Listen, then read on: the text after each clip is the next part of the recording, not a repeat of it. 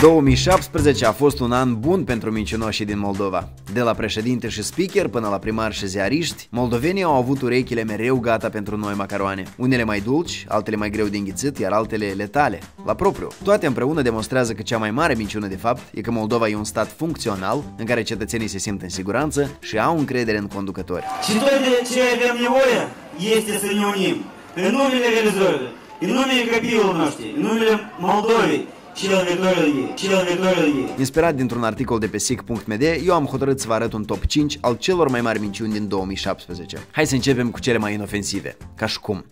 Locul 5. Igor Dodon și cifrele. Căutând niște succese pentru primul său an de mandat, președintele Igor Dodon s-a lăudat cu un șir de cifre dubioase. Președintele încearcă să convingă oamenii că Rusia este principala piață de desfacere a producției moldovenești și că exporturile spre piața rusă ar fi crescut de aproape 4 ori. Panouri roșii anunțau prin țară că exporturile au crescut de 3-4 ori. Cifra este atât de umflată și exagerată încât însuși Dodon a evitat să o rostească în persoană. Nu există asemenea statistici care ar demonstra că există majorări de 3 sau 4 ori sau 10 ori a exporturilor noastre spre alte țări. Mai modest, președintele spunea deja în octombrie că exporturile spre ruși au crescut cu 17%.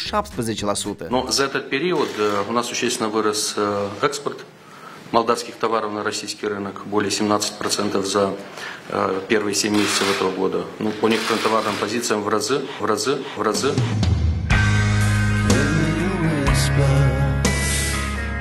Într-un raport infografic, președintele se mai laudă cu revocarea a 9 miniștri, deși rolul său a fost doar unul de spectator la reforma guvernului implementată de PD. Acei miniștri au fost demiși fiindcă ministerele lor au fost desființate, comasate sau fiindcă democrația au decis să-i schimbe, iar meritul lui Dodon în asta este zero. O altă realizare cu care se lăuda președintele este ajutorul pentru 200 de grădinițe, care s-au dovedit a fi 129. Ziarul de gardă a aflat că de fapt nici măcar nu toate din aceste 129 de grădinițe au primit ajutor, iar în cazul unora ajutorul doar a fost promis. În concluzie, președintele Dodon a reușit în primul an de mandat să demonstreze convingător că cifrele mai mint uneori. Cine vrei să întâmpini tu? Igor Dodon. Dar cine e el? Președintele capital al Republicii Moldova. Cum ți-a părut ție președintele? Bun, frumos. Și încă cum? Cresus. Locul 4. Recuperarea miliardului. Încă în 2016, Pavel Filip promitea instalarea unui panou electronic care să arate sumele recuperate după jaful secolului. Chiar mi-am propus împreună cu colegii, atunci când vom procede pe această cale, să avem poate un panou unde zilnic să vadă toată lumea că, uite, astăzi s-a reușit recuperarea la această sumă de bani, mâine s-a reușit să recuperăm această sumă de bani. Și unde ați pune acest panou? Este adevărat, eu am vorbit despre acest panou. A fost o expresie figurativă, dacă vreți, până la urmă. Nu este neapărat să instalăm un panou în centrul orașului. Însă cu sau fără panou, banii recuperați în acest moment nu sunt nici pe departe banii furați, ci banii obținuți din lichidarea activelor celor trei bănci. Ministrul Finanțelor Octavian Armașu a recunoscut și el acest lucru. Într-adevăr, reprezintă banii care sunt recuperați la moment pentru uh, rambursarea creditului de urgență. Până una alta, banii care propriu zis au fost scos din bănci, de acolo încă nu s-a recuperat nimic, pentru că lucrează crol și când vor fi prime rezultate, atunci în raport vor apărea și datele respective. Așa e situația. Deci el, el reflectă realitatea obiectivă cum este la moment. Candu a continuat totuși să insiste în repetate rânduri că deja a fost recuperat aproape un miliard de lei. A, anul ăsta, 2017, noi am recuperat peste 900 de milioane. Atenție, ascultați cifra. Peste 900 de milioane de lei am recuperat din frauda bancară. Atenție, ascultați cifra. Peste 900 de milioane de lei am recuperat din frauda bancară. Mai sunt întrebări? Printr-o acrobație de retorică și alte jocuri de cuvinte, democratul afirmă că mașinile și clădirile celor trei bănci au fost cumpărate din bani fraudați, deci vânzarea lor înseamnă recuperarea acestor bani. Adevărul însă e puțin mai dur decât îl vede Candu prin ochelarii lui Roz. În opinia mea, recuperarea resurselor mijloace este practic imposibil. Eu nu cred că guvernul are capacități, ai nevoie de juriști, ai nevoie de... Acum trebuie să porți procese judiciare în, în jurisdicții diferite care au specificul sau cine o să poarte aceste... Guvernul să cumpere avocați cu milioane de dolari, noi avem aceste milioane undeva, unde le avem noi aceste milioane? Locul 3. Războiul dintre Dodon și PDM. Eu am fost, apropo, acela care în 2013 am votat pentru demisia al Plahotniuc din funcție. Apropo. Apropo. Apropo. Voi știați că Igor Dodon este cel mai înverșunat oponent al guvernării PDM? No, what? Chiar dacă mass media lui Plahotniuc l-a ajutat să câștige alegerile prezidențiale, pe parcursul anului însă, președintele s-a limitat mai mult la declarații și statusuri pe Facebook, iar când nu-i convenea ceva, de exemplu numirea unui ministru, l-a lăsat chiar pe Andrean Candu să ia locul. Într-adevăr, președintele suspendat Igor Dodon și-a pierdut atribuțiile constituționale după ce a refuzat de două ori consecutiv să-i numească în funcțiile de miniștri pe candidații propuși de Pavel Filip, deși nu are acest drept. Acum, potrivit legii, după suspendarea lui Igor Dodon, interimatul funcției de șef al statului va fi asigurat de președintele Parlamentului Andrian Candu. Însă un singur lucru Igor Dodon nu l-a putut tolera. Schimbarea sistemului electoral în unul uninominal, așa cum a propus PDM. Votul uninominal de posibilitate reală cetățenilor să decidă pe cine trimit ei Nahoi! Pentru a nu-i permite lui Vlad Plahotniuc să-și facă hatârul, președintele a venit cu un contraproiect, sistemul mixt. Șeful statului cere coaliției de guvernare să renunțe la proiectul privind introducerea votului uninominal în favoarea sistemului electoral mixt. Aproape identic cu mixtul propus de Plahotniuc în 2013.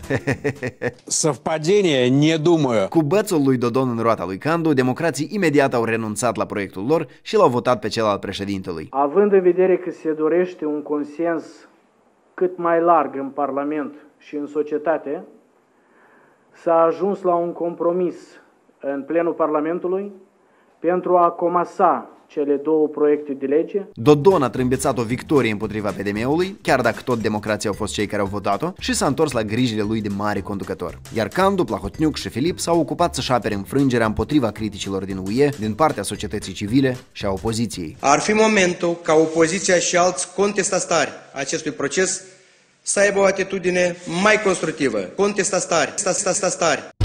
Locul 2. Guvernare, sistemul mixt și Comisia de la Veneția. Adoptarea sistemului mixt a marcat un fel de divorț al guvernării democrate de Comisia de la Veneția. La început, Andrean Candu promitea că proiectul de lege nu va fi adoptat fără avizul Comisiei. Pe Gianni Buchichio, președintele Comisiei în general, îl numea un prieten foarte vechi și foarte bun al Moldovei. Și mă bucur foarte mult că l-avem în vizită astăzi pe excelența sa, domnul Gianni Buchichio, care este un prieten foarte vechi și foarte bun a Republicii Moldova. Signore Buchichio, voglio dice che Andrean Candu e așa, mai mult vorbește pe gura cămeș și mai bine nu ascultare, mai bine haideți mangiare. Oh, bine, bine. Însă reforma electorală a fost votată în prima lectură fără a mai aștepta acest aviz. Și nu există nicio înțelegere între fracțiunea Partidului Socialiștilor sau Partidul Socialiștilor cu Partidul Democrat. După ce comisia a dat o opinie negativă cu privire la proiect, Candu a decis că recomandările comisiei pot fi doar juridice și tehnice și că experții de la Veneția nu pot aviza pozitiv sau negativ proiectul de lege. Comisia de la Veneția se expune și dă expertiză juridică.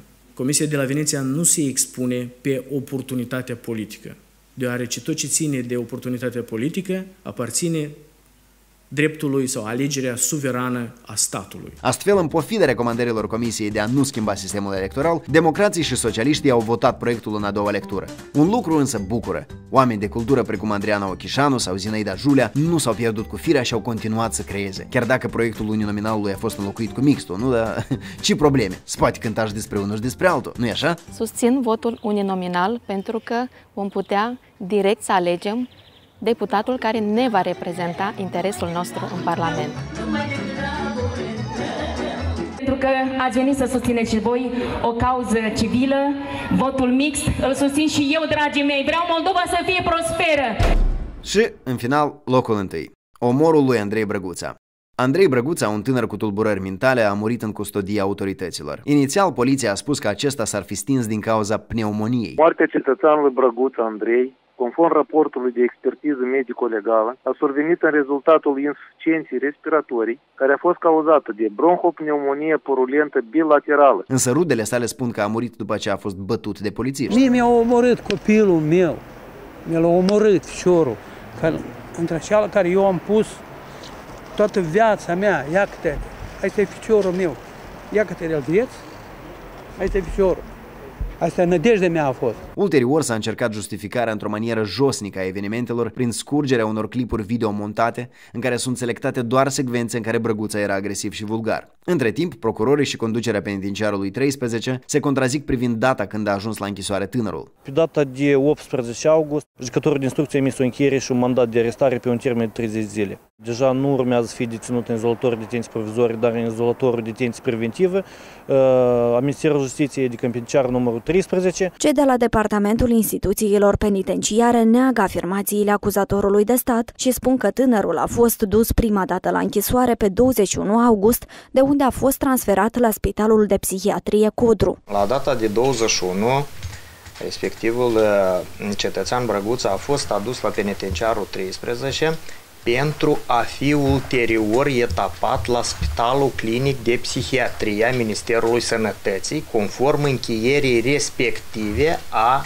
instanței de judecată. Sub presiunea opiniei publice, procuratura pornește o investigație care arată că Brăguța a fost bătut de colegii de celulă cu acordul și sub privirile gardienilor. Mai mulți polițiști și funcționari sunt reținuți sau suspendați. Un raport al avocatului poporului dă vina pe sistem, însă confirmă că Brăguța s-a stins din cauza incompetenței sau a indiferenței polițiștilor, judecătorilor și a medicilor. Tânărul nici nu ar fi trebuit să ajungă în penitenciar, ci să primească îngrijirea medicală și psihică necesară. Andrei Braguța a fost reținut în august de poliția de patrulare după ce s-ar fi împotrivit somațiilor oamenilor legii. La 10 zile după arest, tânărul a decedat în condiții suspect în penitenciar. În acest caz sunt învinuite șapte persoane, dintre care trei polițiști. Aceștia riscă de la 8 la 15 ani de pușcărie. Pneumonia lui Andrei Brăguța e cea mai mare minciună, nu fiind că tânărul a murit de fapt din cauza bătăilor, dar fiind că acest caz demonstrează că un stat clădit pe minciună, sub toate formele ei, corupție, nepotism, incompetență, un astfel de stat nu își poate proteja proprii cetățeni, ci din potrivă, îi omoară și apoi